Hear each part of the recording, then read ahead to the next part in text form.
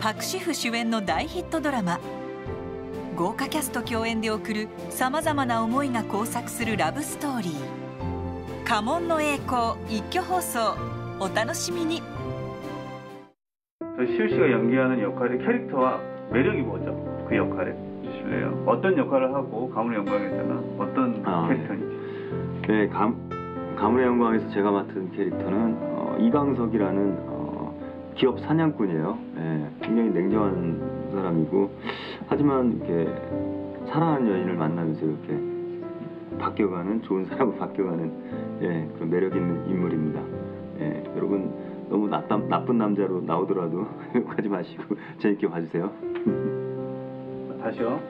자, 가문의 영광에서 씨가 가장 인상 깊은 씬을 하나 뽑는다면 가문의 영광에 가문의 영광에서 제일 기억에 남았던 신 글쎄 워낙 장편 드라마서 기억에 남는 신들이 굉장히 많은데요. 어, 그 중에서도 음, 여주인공에게 고백하는 신이 있어요.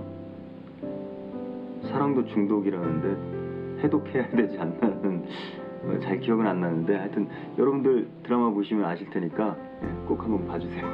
네. 어, 일본에서 가고 싶은 곳이라든가 갔던 곳 중에서 가장 기억나는 곳 그리고 가고 싶었던 곳, 어, 제가 옛날에 삿포로에 갔었거든요. 예, 삿포로에 갔을 때 제가 그 소바를 먹은 적이 있어요. 예, 굉장히 맛있는 소바집에 찾아가서 먹은 적이 있는데, 아, 삿포로에 가서 그 소바를 한번 다시 먹어보고 싶기도 하네요. 네. 어떻게 하면 가문의 영광이라는 드라마를 재밌게 볼 수 있을까요? 아, 가문의 영광을 재밌게 보는 방법은 글쎄요.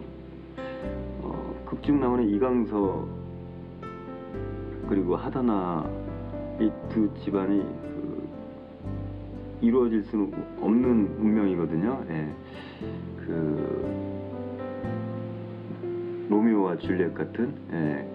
그 힘든 역경을 뚫고 이렇게 두 남녀가 이루어져가는 그 사랑 이야기를 네, 여러분들이 느껴보셨으면 좋겠습니다.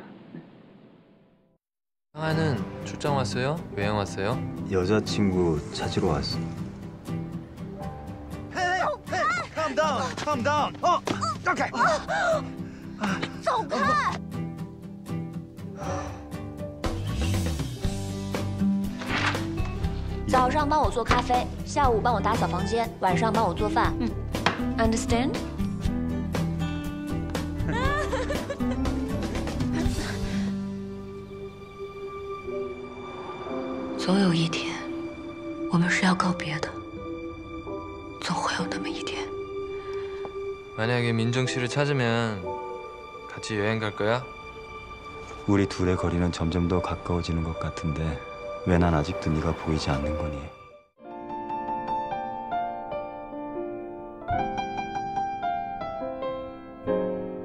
映画「君の香り」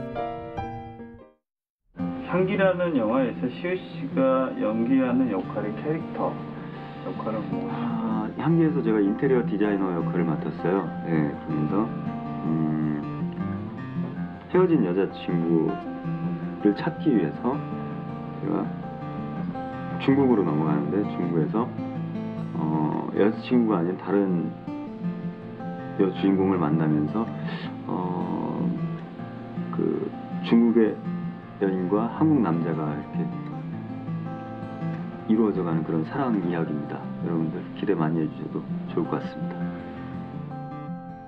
네, 그러니까 향기에서 가장 인상 인상에 남는 씬 어, 요즘에는 모두 다 이렇게 휴대폰을 가지고 다니잖아요. 근데 그 향기에서 보면 비둘기가 이렇게 비둘기가 나와요. 비둘기가 그래서 이렇게 사랑의 메신저를 하나 이렇게 편지로 전달하는 그런 독특한 씬들이 있으니까 아마 어, 기대해 주셔도 좋을 것 같습니다. 네. 네, 음, 향기는 어, 제 첫 정통 멜로 영화입니다. 예, 여러분들 어, 기대 많이 하셔도 좋을 것 같고요. 또 이렇게 상하이의 아름다운 풍경과 그리고 우리, 우리나라 부산의 아름다운 예, 그런 경치들을 영화를 통해서 예, 느끼실 수 있을 것 같습니다. 여러분들 향기 사랑 많이 해주세요.